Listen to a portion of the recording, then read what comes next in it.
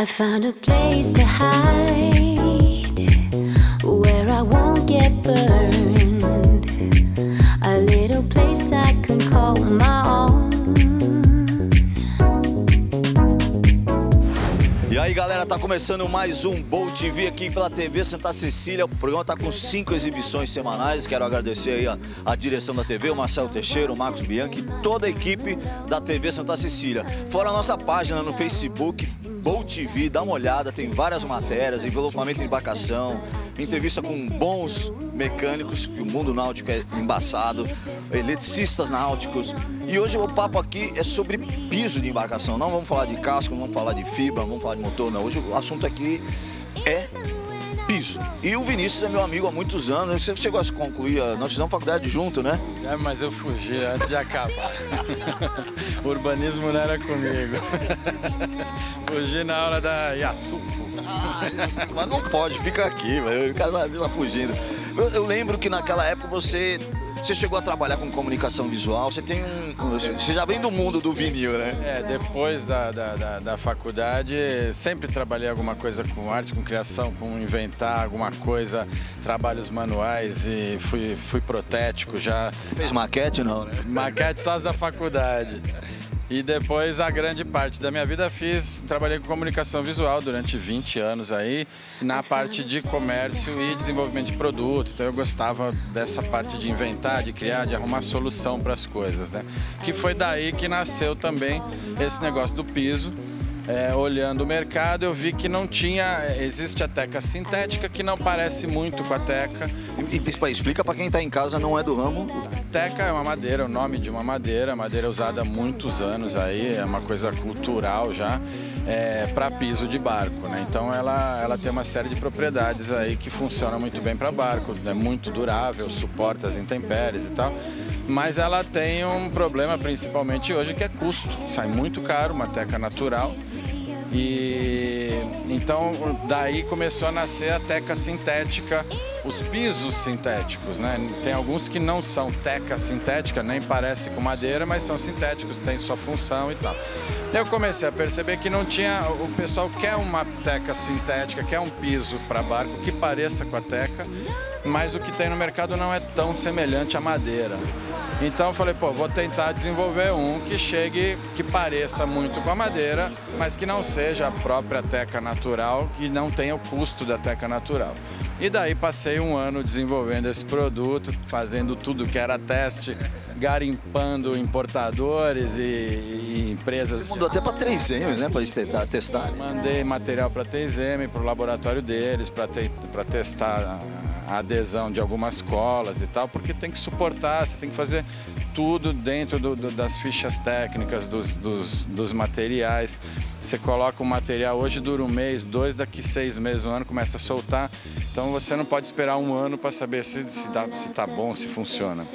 Então você pede ajuda para a engenharia das empresas, para eles especificarem materiais, especificarem cola, especificarem tudo para você, para você ter a segurança de colocar aquilo num barco e saber que não vai ter problema. E se tiver problema, você tem o auxílio deles, porque você está usando dentro da especificação deles, né?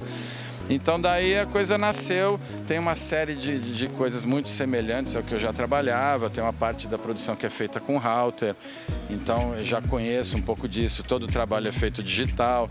Então eu fui, eu criei todo o processo, desde o levantamento dos moldes no barco, a digitalização desses moldes, depois o trabalho deles em programas vetoriais para poder criar direitinho os desenhos dentro do tamanho exato de cada barco. Pensa que é fácil, sei lá, e colar o piso? É nada. É uma produção enorme. Hoje eu tenho uma produção razoavelmente lenta ainda.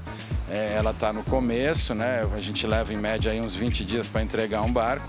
Mas a ideia é chegar a um ponto de entregar um barco em cinco dias, fazer o levantamento na segunda, na sexta está instalando e no fim de semana o cliente já está andando com o barco.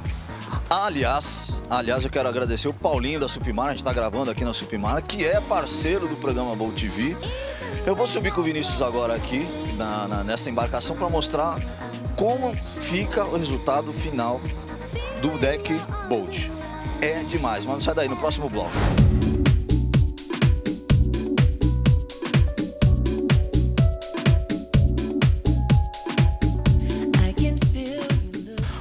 Voltamos com o segundo bloco do programa Bolt TV, todo sábado, seis e meia da tarde, aqui nossa TV Santa Cecília. Tá boa essa imagem aqui, hein? Aê, Bruno, hein? Olha só, tá um calor malandro que eu tô derretendo aqui. Nós estamos gravando na Supimar. Um beijão pro Paulinho da Supimar.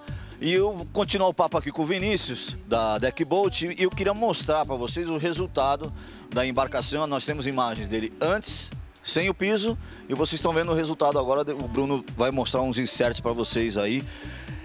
Muito legal, confortável, porque ele tem um EVA por baixo, né? Conta pra gente. Ele tem uma camada de EVA por baixo para dar maciez. O teu pé acomoda melhor, é mais agradável de pisar, você fica descalço o tempo inteiro, né? Eu tenho até um amigo diabético que brinca, fala, pô, esse piso é perfeito para mim, que meu pé vive doendo, quando eu piso nele é maravilhoso. Pois é, eu nem imaginei quando criei, ele falou, nossa, é maravilhoso esse Foi no folder, piso bom para diabético. Uh, aí depois dessa primeira camada, você tem a camada de piso propriamente, a que fica exposta, que tem bastante resistência, ela tem uma camada superior de poliuretano de alta densidade, você pode pisar com sapato se quiser, não tem problema, ele suporta. Aguenta uma mulher de salto alto? Aguenta, não pode ter o preguinho solto, né? Mas aguenta, o salto alto aguenta. Tem um filtro ultravioleta nessa camada, então ele não desbota com o sol, a cor dele vai continuar sem problema. E é feito toda essa parte preta aqui é poliuretano de verdade mesmo, não é pintura, não é uma fresa só que fica um vão. Ele tem no mesmo nível aqui, feito com poliuretano, que pode ser preto ou branco, o preto é o mais comum. Da mesma maneira, é o mesmo poliuretano que se usa para a teca natural, né? Foi desenvolvido uma maneira dele aderir a esse material porque ele é feito para madeira, né? Mas a gente aplica um processo que faz com que ele tenha uma união com esse material e toda a resistência que já se conhece desse material usado na, na, teca natural, né? Então ele é muito próximo, o visual dele é muito próximo mesmo da madeira. Ele tem, além do visual de madeira, da textura visual, ele tem a textura física. Você passando a mão nele, você percebe os veios da madeira. Agora eu percebi que, por exemplo, dá até para escrever um logo, você consegue brincar assim com a... Posso fazer, podemos fazer logotipo, o nome do barco, com o logotipo do barco. Por enquanto só preto, né? Tô desenvolvendo uma maneira de fazer isso colorido também, se tiver cores no logotipo a gente pode, já estou trabalhando nisso, ainda não tem pronto esse, esse processo, mas de uma cor só já é feito como esse e é tranquilo, podemos colocar sem problema nenhum, tá personalizando o barco aí, colocar o logo, o nome direitinho, sem problema nenhum. Vinícius da Deckboat é o seguinte, cara, eu já quis entrevistar com ele agora, porque ele vai ficar rico e milionário, para não esquecer os amigos, nós temos isso guardado, hein, Bruno? Nós temos isso aqui guardado. Então, Vinícius, bom tê-lo aqui no Boat TV. Obrigado. Sucesso, cara. Eu sou fã do teu produto, do teu jeito de trabalhar. Força. Das pesquisas que você faz, aqui não tem chute, não tem nada. Vocês viram na entrevista, mandou para 3M, pesquisou cola, tá pesquisando tudo e vem mais inovações aí até com LED por baixo, né? Era para falar, não? É agora que tu falou, né? Tá desenvolvendo, mas é sem prazo, porque muito, muita pressão não dá. Então a gente tem que fazer devagar, sem pressa. Isso daqui é o carro-chefe. Mas já tem um protótipo de um que é um rejunte branco, translúcido, com fita de LED por baixo. Vinícius Deckbolt aqui no Bolt TV. Até semana que, que vem, se Deus quiser, ele há de querer. Beijo, meu irmão. Valeu, obrigado. Tchau. Falou, galera.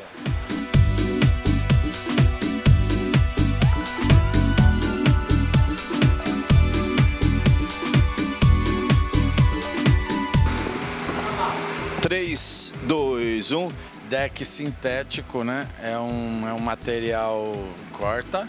É, não foge, fica bem colado aqui, ó. Não foge. Isso aqui. Pera aí. Deck. Tem que ser objetivo. É, deck, deck para barco, deck sintético. Bate papo, tá? Vai lá, Mas não foge, pô. Finca o pé aí. Sai daí. Pode ir? 3, 2, 1. Né? Tem alguns que não são teca sintética, nem parece com madeira, mas são sintéticos. Escuta aí, ó.